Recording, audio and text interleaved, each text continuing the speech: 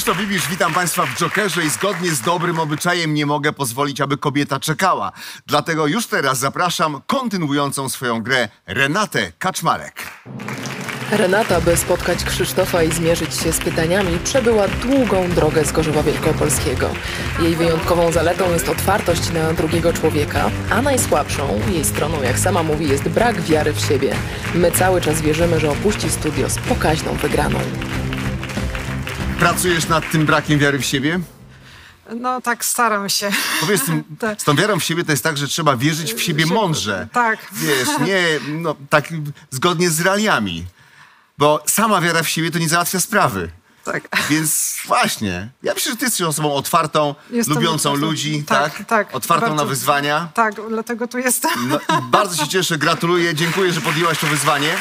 To jest trudne wyzwanie, bo tak naprawdę łatwo jest tylko przed telewizorem. Tak. Tu jest bardzo trudno. Tak, tak, naprawdę jest całkiem inaczej, jak tutaj się siedzi i są te pytania czasami po prostu na takie e, proste, banalne pytanie zna się odpowiedź, ale no sytuacja, atmosfera pewnie no też powoduje to, że się myśli inaczej. Inaczej, dużo trudniej Tak, się myśli. dużo. Jak wspominasz grę w ostatnim odcinku? No zestresowałam się bardzo, bo były no, pytania z, y, bardziej no, z tą szynką parmeńską mi nie wyszło, po prostu takie było, no przekombinowałam. Ale jesteś z nami, Jestem. grasz dalej, a Państwu przypomnimy, jak to wyglądało. Co to jest parkour? To jest takie, nie spotkałam się z tym określeniem. Nigdy? Nigdy. Parkour, parkour. I teraz uważaj, to jest bardzo ważne pytanie. Osobisty czy zwyczajny? E, Zwyczajnego jokera poproszę. Na pewno. Na pewno. Co myśli syn? No, to jest forma aktywności fizycznej. I w ten sposób tracisz pięć jokerów. O Jezu. Proszę pomiędzy Proszę. jagnięciną a wołowiną, bo tak mm, chyba się zakręciłam. Sprawdźmy w takim razie, który z tych dwóch wariantów jest niepoprawny. Myślałaś o wołowinie. Pięć sekund? O, ciężko zaznaczyć, coś mi chodzi ta... Czas? Wieprzowina, jagnięcina. Niestety po czasie. Proponowałem na pierwszym pytaniu, abyś wzięła syna, Tak. prawda? I tak byłaby od razu odpowiedź, a tak kosztowało cię ile jokerów? Pięć aż. No dobrze, gramy dalej teraz zgodnie z regulaminem. Przypomnę zasady gry. Przed tobą, droga Renato, tylko dwa pytania. Po dobrej odpowiedzi stawka będzie rosła, będziesz grała o 500 zł lub o 2000 zł. Nie masz jokerów, musisz sobie radzić sama. Wspiera cię już tylko mentalnie, bo został tu wykorzystany jako joker osobisty twój syn Adrian. Witamy.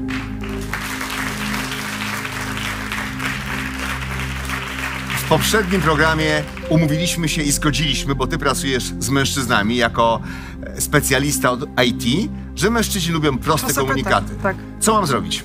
E, pytanie dać mi proste, zadać. Proszę bardzo, oto przedostatnie pytanie w twojej grze.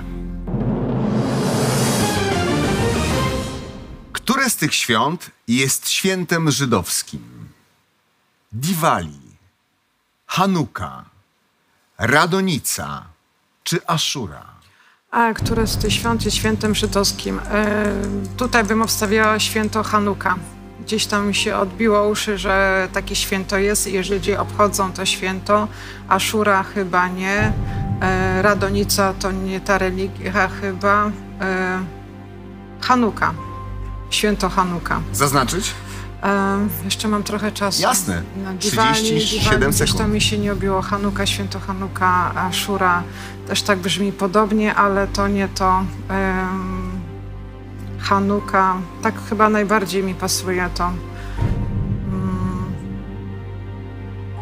Myślę, że można byłoby zaznaczyć tą odpowiedź e, B czy Hanuka. Czyli można by. Tak, proszę. Ale czy mam zaznaczyć? Em, Diwali nie, Radonica na pewno nie, Ashura, Ashura to nie. 7 sekund. Y, Hanuka, poproszę o zaznaczenie Proszę bardzo. Hanuka. Zaznaczamy Hanuka.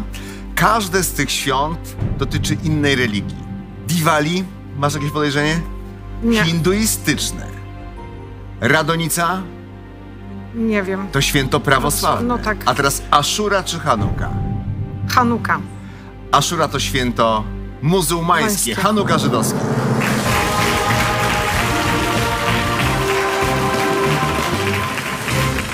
Można bez jokerów? Można. Idziemy w górę, wspinamy się. Przed tobą tylko jedno pytanie. Co mam zrobić? Zadać mi pytanie proste. Proszę bardzo, to proste. Mam nadzieję, pytanie dla ciebie. Ostatnie w grze.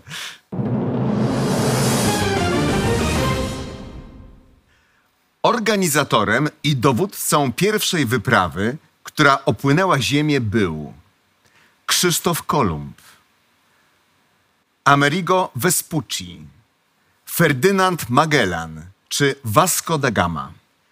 E, Krzysztof Kolumb nie był. Wyprawy, która opłynęła Ziemię, pierwsza. E, Vasco da Gama też nie.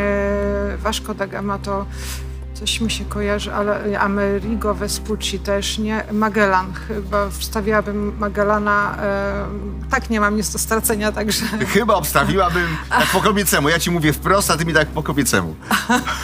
E, Ferdynand Magellan, toś mi się kojarzy, że on jako chyba pierwszy z wyprawą opłynął Ziemię. E, Gdzieś tutaj mi em, chodzi po głowie.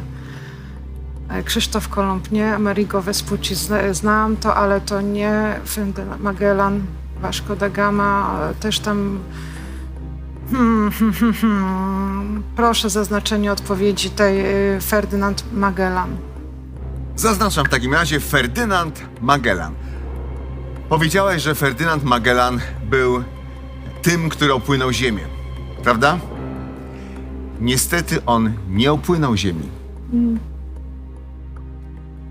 Był za to dowódcą i organizatorem. Dobra odpowiedź.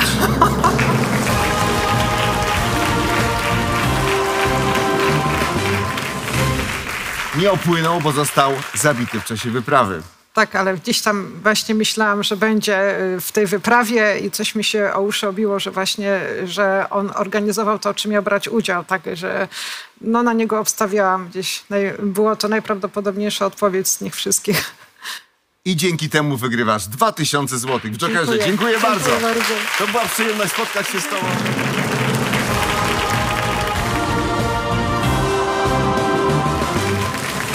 Renata wyszła ze studia bogatsza o emocje, doświadczenia i 2000 zł. Nasz kolejny gracz może wygrać 50 tysięcy. Przed Wami Jarosław Zarówny. Jarosław przyjechał z Tworkowa, oficjalnie uznanego za najpiękniejszą śląską wieś. Mimo tak pięknego otoczenia marzy o wyjeździe do Stanów Zjednoczonych. Kręci go motoryzacja. Obejrzał wszystkie odcinki gry o tron, a dziś zamiast na tronie zasiądzie na krześle naprzeciwko Krzysztofa Ibisza. Witam Cię bardzo gorąco. Już wiemy, jakie masz zainteresowania, a zawodowo czym się zajmujesz, Jarosławie? Jestem strażakiem Państwowej Straży Pożarnej od niedawna.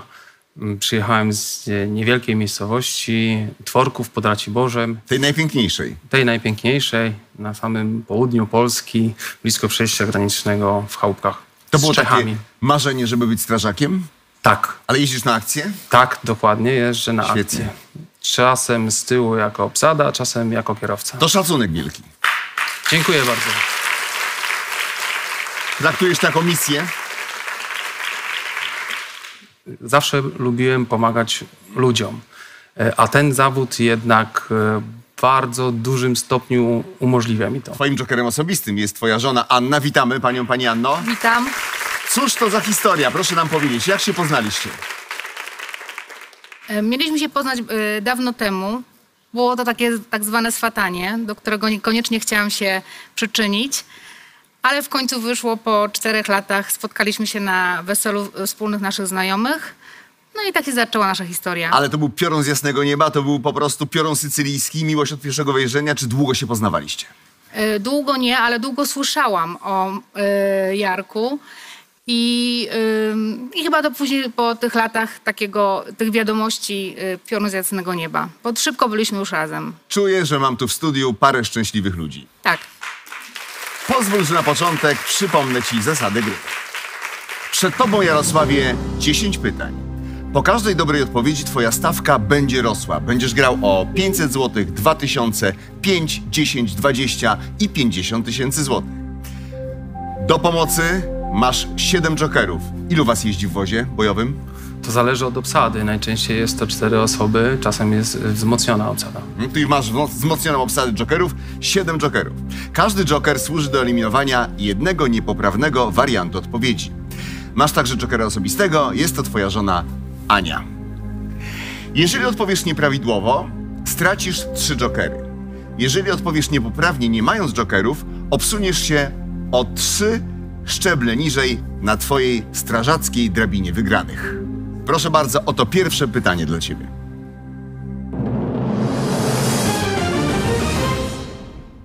Rewolucyjna pieśń Marsylianka to hymn państwowy Rosji, Francji, Stanów Zjednoczonych czy Wielkiej Brytanii. Myślę, że znam odpowiedź na to pytanie. E, Proszę zaznacz Francji. Proszę bardzo, zaznaczamy odpowiedź Francja. I czy to będzie dobry start do Twojej akcji w Jokerze, dowiemy się za chwilę.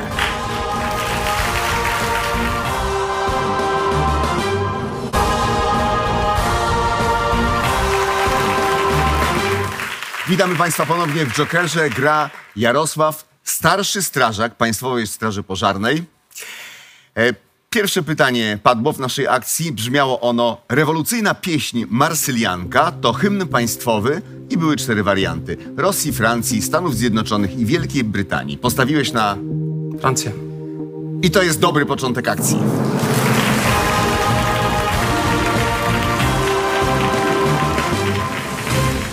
Wspaniale, na twojej strażackiej drabinie pniemy się w górę, 500 zł na koncie. Przed tobą drugie pytanie. Oto pytanie. Krwinki czerwone to leukocyty, trombocyty, limfocyty czy erytrocyty?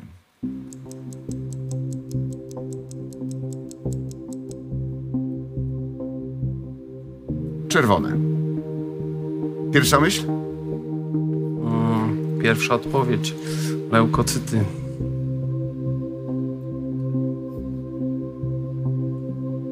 Będą jokery? Poproszę swojego specjalnego jokera, moją małżonkę Anię. Zapraszamy. Witajcie mężu. Leukocyty. Chcesz? Dlaczego właśnie wezwałeś Anię w tym momencie? No, Ania jest najbardziej odpowiednią osobą, jeśli chodzi o tego typu pytania. Jesteś lekarzem? Nie, jestem farmaceutką. O, czyli oboje pełnicie zawody społecznego zaufania. Tak. Proszę bardzo, dopisuję 15 sekund do Twojego czasu za wzięcie jokera i naradźcie się. Erytrocyty. Leukocyty. Erytrocyty. A po co to są białe? Proszę zaznaczyć eryto... E, czwartą odpowiedź. Erytrocyty. Erytotry. Erytrocyty. Przepraszam. Ja mam pewną misję do wykonania, póki jeszcze pamiętam. Czy moja młodsza córka pytała, masz zapy- e, powiedziała, masz zapytać e, i skosztować tej wody, czy jest gazowana, czy nie. Proszę bardzo, sprawdźmy ją. Na pewno o to zapyta, jak wrócimy. I co myślisz? Nie ma bąbelków, jest Nie, ale jest lekko mineralizowana, Mineralizowana, tak, żeby nasz nie gracz gazowana. lepiej myślał. Kranówy nie lejemy. Proszę bardzo. Po pańsku.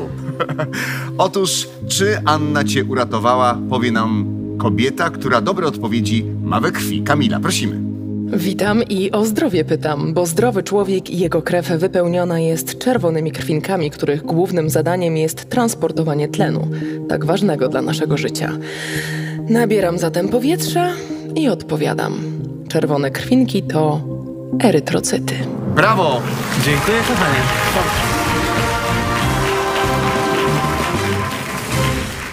Dobrze, idziemy dalej w takim razie. Trzecie pytanie dla ciebie. Jakiego koloru maluchem jeździł inżynier Karwowski, serialowy czterdziestolatek? Żółtym, białym, czerwonym czy granatowym? Mm, Pan inżynier Karwowski. Pamiętasz serial? Pamiętam serial. Pan inżynier Karwowski. Waham się nad dwiema odpowiedziami. Jakimi? Na pewno był to jasny kolor teraz. Czy żółty, czy biały. E, tu mam pewien dylemat. Ale jednak e, jestem przekonany, że to był kolor śniegu, czyli biały. Proszę zaznaczyć biały. Proszę, zaznaczam więc kolor biały. Otóż inżynier Karwowski jeździł maluchem w kolorze najbliższym sercu strażaka, w kolorze czerwonym. Oj, oj. No już ty jeździsz czerwonym. codziennie? Może to mnie właśnie zgubiło. No. Miał czerwonego malucha. Ale nie martwimy się, gramy dalej. Masz jeszcze cztery jokery i szansę nawet na 50 tysięcy złotych. Gramy dalej o to pytanie. Drzewo o podłużnych, wąskich liściach to wierzba, klon, brzoza czy topola. Klon wykluczam od razu. To pole także rosną blisko, blisko e, naszego domu. E, brzoza. Też bym wykluczył, a więc w podłużnych, wąskich liściach. E, jest to wierzba. Proszę zaznaczyć wierzbę. Proszę bardzo, zaznaczam wierzbę i oczywiście to jest dobra odpowiedź.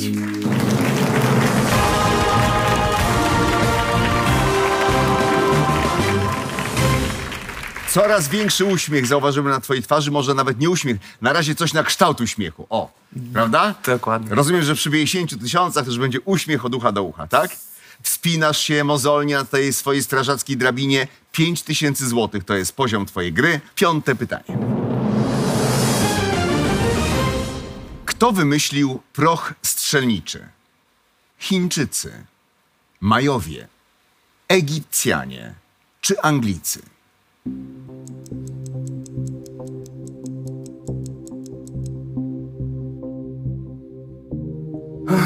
Mamy dwa bardzo, dwie bardzo stare kultury tutaj wymienione. No na pewno Majowie i Egipcjanie, ale czy oni, czy oni byli tak bojowo nastawieni, żeby mieć potrzebę wymyślania Czuję, że będzie joker. 5 wybuchowego? sekund zostało. Wezmę jokera. Prosimy bardzo, joker zwyczajny. Między którymi wariantami mamy eliminować? Y, Poproszę w, z, między y, Chińczykami i Egipcjan... Nie, przepraszam, Majowie. Proszę bardzo, Chińczycy czy Majowie? Sprawdź mi, która odpowiedź jest nieprawidłowa. Majowie zniknęli.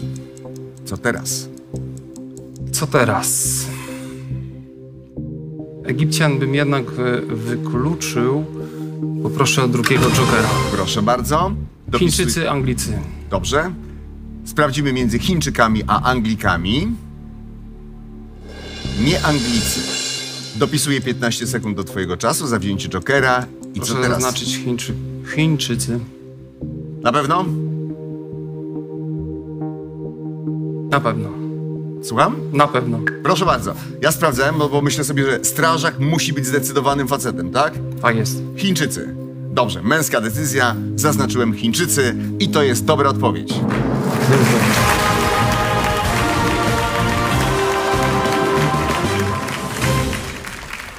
Świetnie, idziemy w górę 10 tysięcy, to jest poziom teraz twojej gry. Tylko dwie dobre odpowiedzi dzielą cię od poziomu 50 tysięcy złotych. Ale teraz będę miał więcej czasu. Tak, aż minuta. Tyle mniej więcej, co macie na wyjazd w dzień. W takim razie jedziemy dalej. Przed nami kolejne pytania i teraz rzeczywiście minuta na zastanowienie się. Posłuchaj.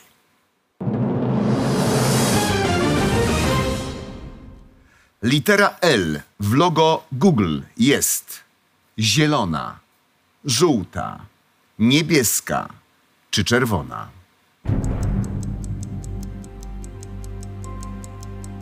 Przypomnij sobie. Google.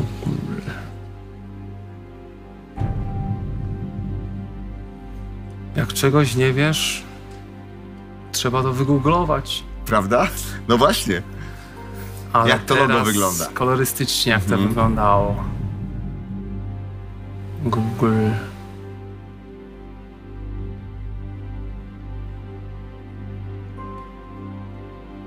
No niestety będę musiał podjąć Użyć, decyzję. tak? Czy- Niekoniecznie. A, dobrze, dobrze. E, Google. Coś mi tam czerwonego świta na początku. Oczy są czerwone, a więc OO jest czerwone. G. Wezmę jednak Jokera. Proszę bardzo. Między którymi wariantami sprawdzamy? Między mm, czerwony, niebieski. Między niebieskim na pewno, a żółtym. Sprawdźmy więc między niebieskim a żółtym. Kolor niebieski zniknął.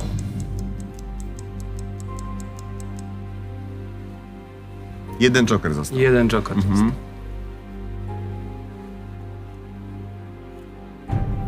Czuję, że będzie użyty.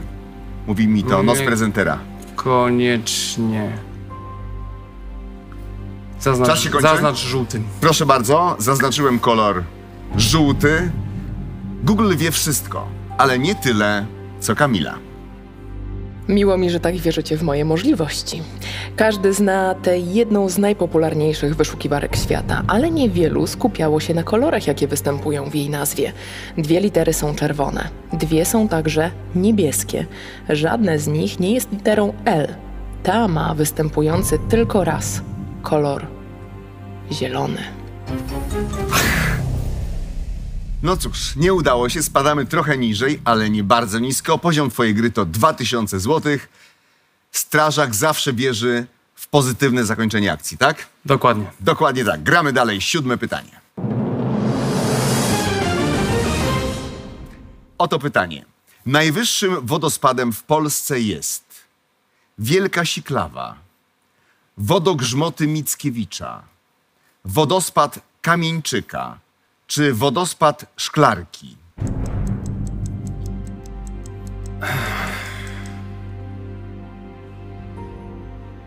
Na jednym i drugim byłem. Mam na myśli y, wodospad Kamieńczyka Mhm. i wodospad Szklarski. One są w, w niedalekiej odległości Szklarki. od Szklarskiej Poręby.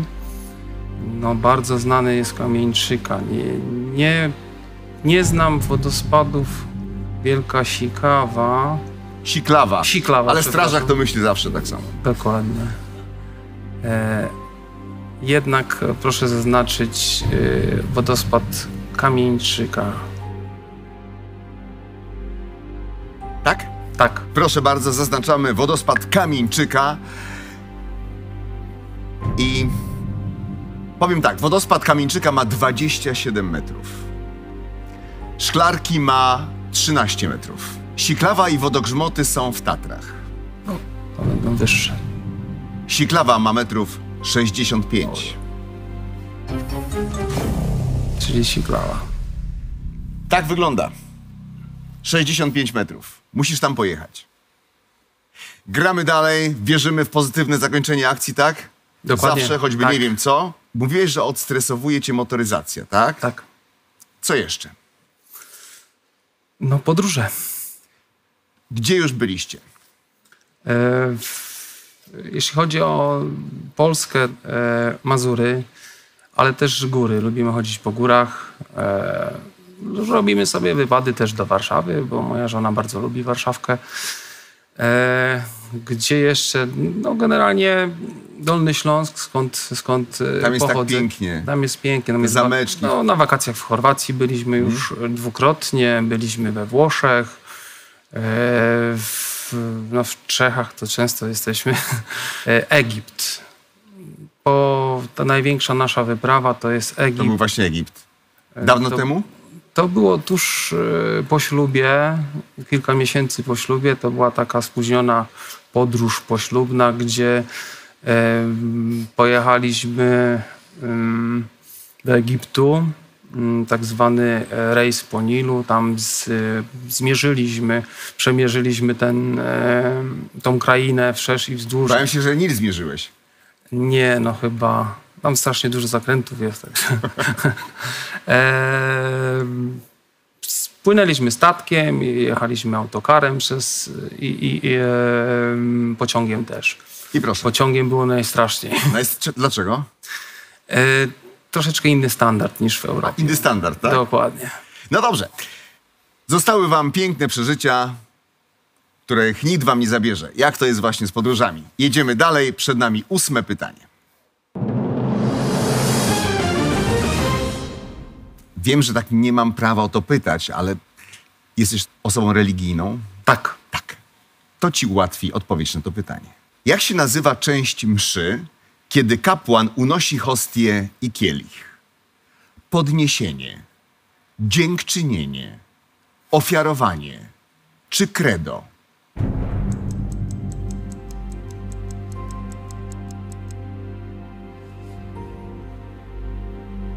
Byłeś ministrantem? Tak, byłem No. ministrantem, ale to było tak dawno, że mam... mogę nie pamiętać. No proszę cię. E, ale jesteśmy często na Tak. mszy, tylko teraz mszy właściwie myślę. Jednak stresik daje znać o sobie, e, ale Pierwsza od myśl. samej nazwy, kiedy kapłan unosi hostię i kielich, e, będzie to podniesienie.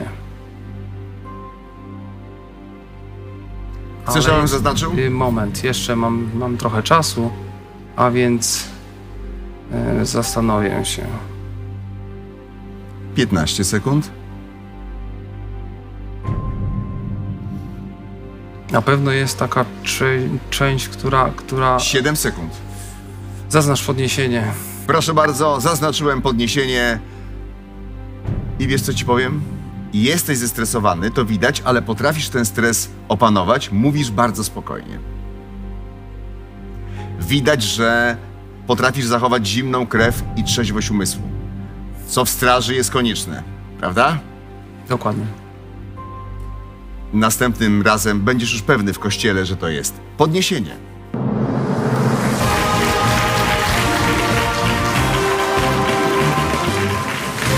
A my znowu się podnosimy, jesteśmy na 500 zł.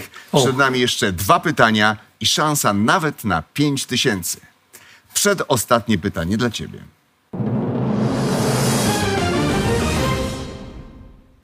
Singiel z debiutanckiego albumu Dawida Podsiadły nosi tytuł. Słuchasz jego? Zdarzyło mi się. Oto tytuły. Trójkąty i kwadraty, koła i elipsy, proste i krzywe, czy kule i sześciany?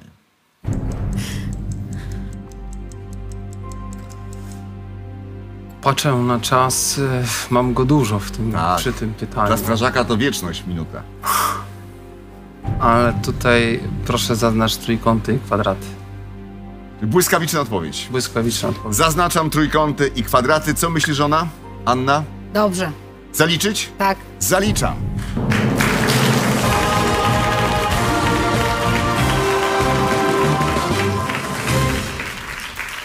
Tak jak Straż Pożarna ma swoje procedury, my także w Jokerze mamy. Otóż tylko po przeczytaniu ostatniego pytania możesz wycofać się z gry i wtedy bierzesz szczebelek niżej, czyli w tym przypadku byłoby to 500 zł. Jeżeli odpowiesz prawidłowo, będzie to 5000. Jeżeli odpowiesz błędnie, będzie 0. Czy nasze procedury są jasne? Jak najbardziej. To co, dzwony, tak? Dzwony. Dzwony biją na akcję, napijmy się. W końcu, ile tam macie wody w wozie? To zależy jaki. Na największym. 5 tysięcy. 5000 litrów, tak? Tak. To nam starczy na wszystkie edycje. Dla uczestników. Yy, chciałbym, żeby dłużej trwał Joker. Dziękuję Ci bardzo. Żeby dziękuję zabrakło bardzo. wody tych 5 Dziękuję, tysięcy. bardzo nam miło. Gdzie tankujecie swoje wozy strażackie? Do hydrantów? Oczywiście. Do hydrantów. Dobrze. A jak długo się tankuje Znaczy, cały wóz? E, To zależy ile ubyło, ale No nie, na full od zera. 5, no to jest kilka minut. Naprawdę? Tak. Niesamowite. No dobrze. Kilka dwie czy kilka dziewięć? E, Kilka, dwie z hakiem. Błyskawicznie. U nas minutę na zastanowienie się i oto ostatnie pytanie dla ciebie.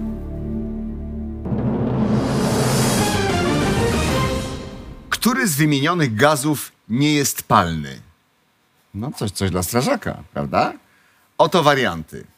Amoniak, acetylen, wodór czy argon. Nie jest palny. Czyli trzy pozostałe są.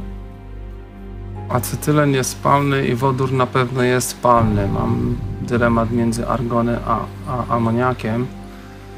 Amoniak, który z wymienionych gazów nie jest palny.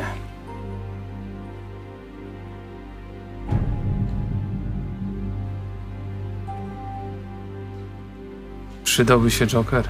Prawda? Dokładnie. Twoja pierwsza myśl?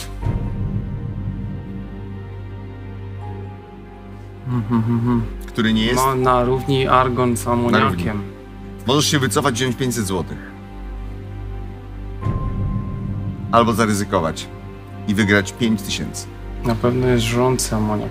Siedem. Zaznacz argon. Zaznaczam więc argon. No więc tak sobie myślę, że to było ważne pytanie dla ciebie. Czy zdałeś egzamin strażacki? Bo strażak z chemii powinien być dobry, prawda? Przynajmniej z palnych materiałów. Dokładnie. W takim razie, czy tak, czy nie, dowiemy się za chwilę.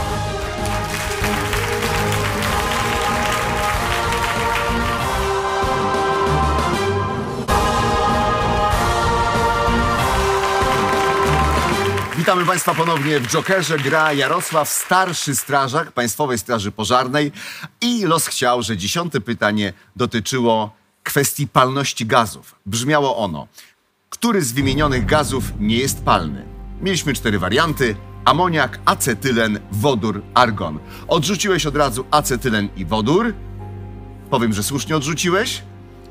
I zastanawiałeś się między amoniakiem i argonem. Postawiłeś na argon.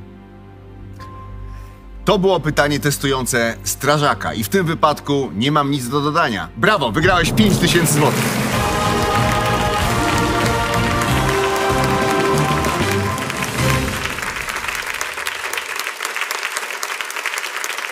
Czy tu jest stres porównywalny do tego, jak się jedzie na akcję, czy już jazda na akcję jest tak dla ciebie zwyczajną rzeczą, że nie ma stresu?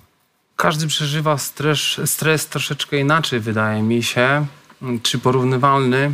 Mm, Każda e, sytuacja, w której jesteśmy pierwszy raz, na pewno jest stresująca.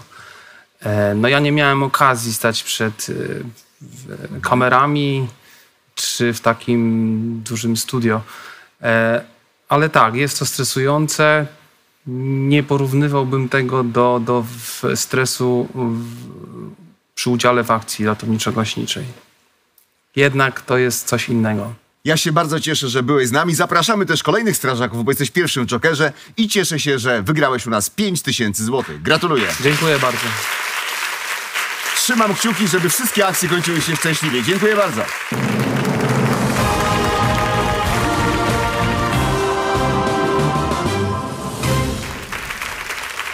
Bohaterska akcja strażaka Jarosława zakończyła się na 5000 złotych. Ile wygra nasz kolejny gracz, przekonamy się już teraz. Przed wami Agnieszka Więckowska.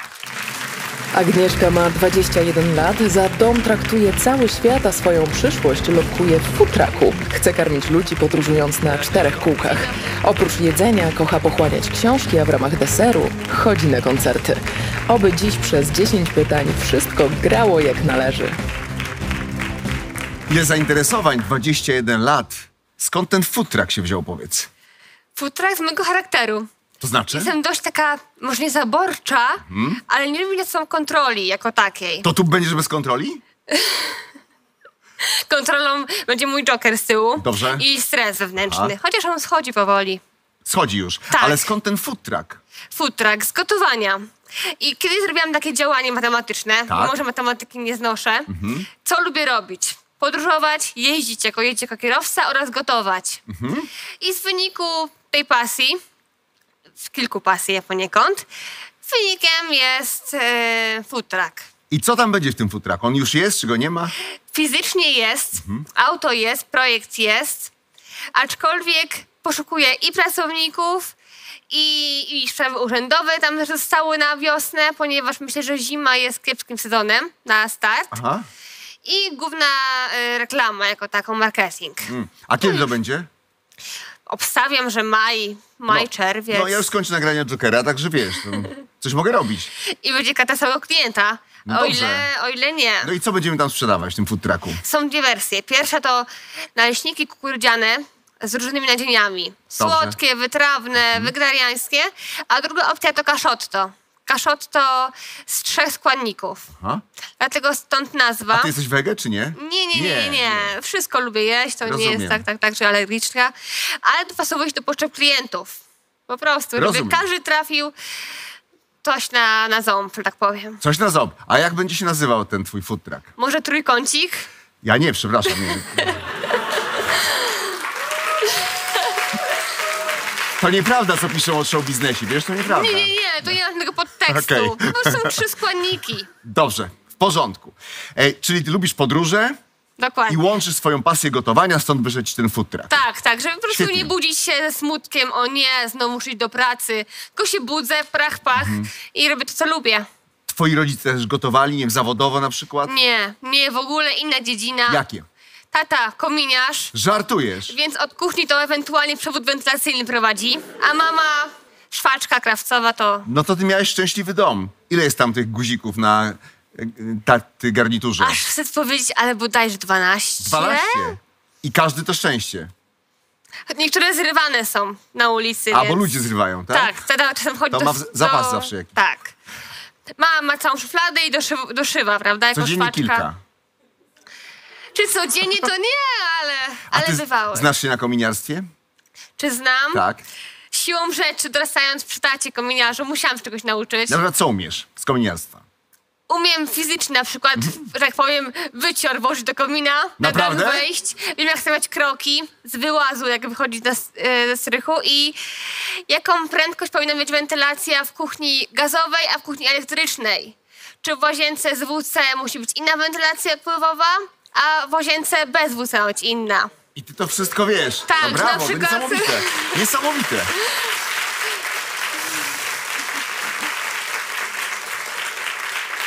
I to jest dość, dość męska, męska y, pasja poniekąd. Ty masz taką pasję kominiarstwo w sobie. Ciekawi mnie, No po tak. prostu mnie ciekawi. Szybkość wentylacji, Tak. stawienie kroków, jak wychodzisz z włazu. To jest mega ciekawe. Jak domywać sadzę z rąk, jakimi to środkami, jak szorować. To jak właśnie? Tu nie chcę reklamować poszczególnych No nie, środków, no nie więc mówmy tak może nas. nie. Ale są specjalne, tak? Tak, tak, Dobrze. pasy, tak. A powiedz mi, jakie warunki trzeba spełnić, że jak się złapie za guzik albo urwie guzik kominiarzowi, czego nie polecamy państwu, to trzeba na przykład się obejrzeć, splunąć, co trzeba zrobić? Nie wiem, jak jest przyjęte w ogólnych takich tak. konwenansach, a tata sobie tak wymyślił, bądź nie, że był jak poliszek. Żeby tatę całować. Tak. A jak facet, to też ma całować? A, może uścisk dłoni, A. tak na zmianę. Czyli panowie mają nie całować ojca? Czy mają całować? Pytanie nie do mnie, pytanie nie do Dobra. mnie. Ucałował cię przed wyjazdem do Jokera? Tak. Masz guzik? Na szczęście? Ojejku, w szatni został. Ale jest, tak? Jest, zawsze jest w samochodzie, w portfelu. Dobrze, to on ci przyniesie szczęście, tak? Tak. A kim jest e, twój Joker osobisty, który tu będzie pilnował interesu? Mój joker osobisty, Tak. Damian, jest najbardziej cierpliwym człowiekiem, jakiego znam, który mnie najdłużej i najlepiej chyba znosi. Mhm. Stąd tutaj jest dzisiaj ze mną. Witamy cię, Grze. Witam serdecznie. Dobrze, droga Agnieszko. Jesteś dziewczyną, której nie da się nie lubić. Naprawdę. Dziękuję. Przedstawię ci na początek zasady naszej gry. Przed tobą 10 pytań. Po każdym pytaniu twoja stawka będzie rosła. Będziesz grała o 500 zł, 2000, 5, 10, 20 i 50 tysięcy złotych. Do dyspozycji masz 7 jokerów zwyczajnych. Każdy joker to jest takie szczęście niczym ten guzik. Będzie służył do eliminacji jednego niepoprawnego wariantu odpowiedzi. Masz także jokera osobistego, którego powitaliśmy. Damianie, w czym szczególnie będziesz mógł pomóc swojej partnerce? Ej, Chciałbym pomóc niezależnie od tego, z jakiej dziedziny padnie pytanie, ale myślę, że dobrze bym się czuł w świecie sportu, astronomii. e, w Jak z matematyką? Bo No tu jest właśnie. kiepsko. Lepiej myślę, lepiej niż ja. No. Dobrze. Nauki ścisłe, sport, tak? Tak, myślę, że może troszkę historia, polityka. Świetnie. Jeżeli odpowiesz nieprawidłowo, mając jokery, stracisz trzy jokery. Jeżeli odpowiesz błędnie, nie mając jokerów, obsuniesz się o trzy oczka niżej na twojej drabinie wygranych. Oby to się nie stało. No nie, nie chcemy tego. Na co będziesz zbierała? Zależy ile wygram. Masz, masz wyposażenie w tym food trucku? No tak, pół na pół. Mhm. Trochę brakuje i w silniku, i na kuchni. Dobrze. Czyli główny cel, jak sobie postawiłaś dzisiaj? To za, do, dobrze się bawić i Tak? nie żałować, po prostu nie żałować. Żebym wyszła stąd z takim Świetnie. czystym sumieniem. W takim razie ruszajmy w naszą drogę, tak? Oto pierwsze pytanie dla ciebie. Jakiego koloru czapeczkę nosi Papa Smurf? Chcesz być bez wariantów? Tak, co ci mówi biała, no to są moje dobranocki, to jest moje, moje ten, moje dzieciństwo. Oto warianty. Niebieską, czerwoną, zieloną czy białą. Masz Nie- też jokery. Niebieską to, to raczej miał skórę, buzię, nosek i czerwone, zielone to nie ta bajka. Myślę, że Smurfy, Papa Smurf.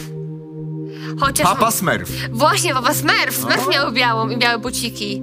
Papa Smurf. O kurczę, to Ten z brodą, tak? tak, No. tak, najstarszy, Jaką najmądrzejszy. Czas się kończy. Czuję się głupia, biorę Jokera. Dobrze? Osobistego czy zwyczajnego? Zwykłego, zwyczajnego. Proszę, już do ciebie leci. Między którymi wariantami mamy wyeliminować? Białą i czerwoną. Sprawdźmy więc, czy białą, czy czerwoną wyeliminuje Joker. Nie białą, Uff, czyli pierwsza intuicja bywa jednak czasem zgubna. prawda? To proszę Krzysztofie, czerwoną. Zaznaczamy czerwoną. Tak, czerwoną, odpowiedź czerwoną. Co tak. myśli Damian? E, Myślę, że jest to prawidłowa odpowiedź. Tak jest.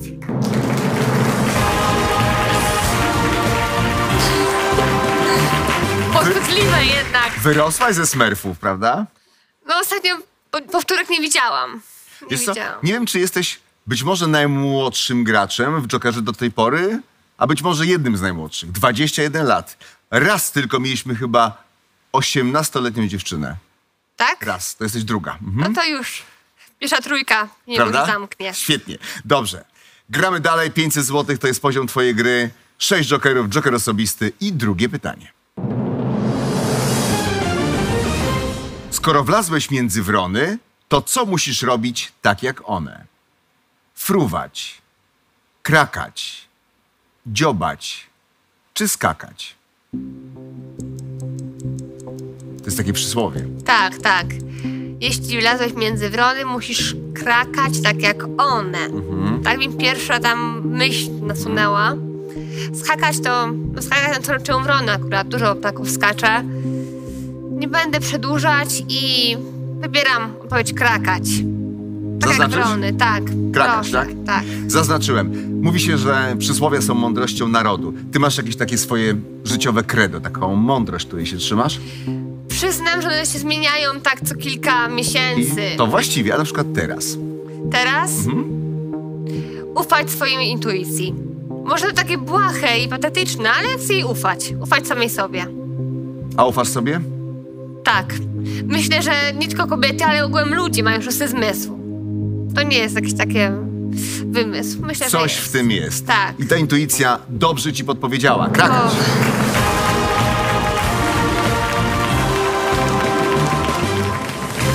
Droga Agnieszko, w tym momencie grasz na poziomie 2000 zł. Powiem ci, że tak mi się przyjemnie z tobą rozmawia, że już tęsknię za kolejnym spotkaniem z tobą, które nastąpi w kolejnym odcinku. Dziękuję Państwu i do zobaczenia.